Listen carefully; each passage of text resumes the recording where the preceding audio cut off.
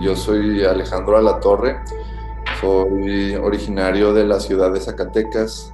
Respecto a la película, va de un adolescente que pues es traicionado por sus mejores amigos y eso lo orilla a quedarse solo y pues es a partir de la soledad que él empieza una relación nueva con la ciudad. La película es un coming of age, nos describe como ese paso de la adolescencia a la adultez y las preguntas que nos surgen.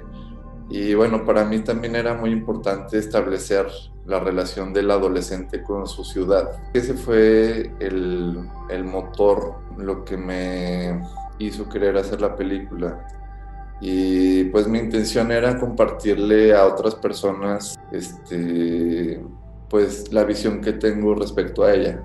En cuanto al aspecto musical, este, puedes encontrar este, no sé, reggaetón o trap, eh, rock. Entonces, este, para mí era importante que hubiera esa diversidad y que creo que es muy pues, normal en los adolescentes que están viendo qué les gusta. Creo que busqué que también transmitiera un poco ese sentimiento de melancolía y nostalgia. Para mí los sueños es algo fundamental en nuestras vidas, es o sea, la otra parte de nuestra vida, o sea, el, el estar soñando. Y pues quise plasmarlo e integrarlo también a la ciudad.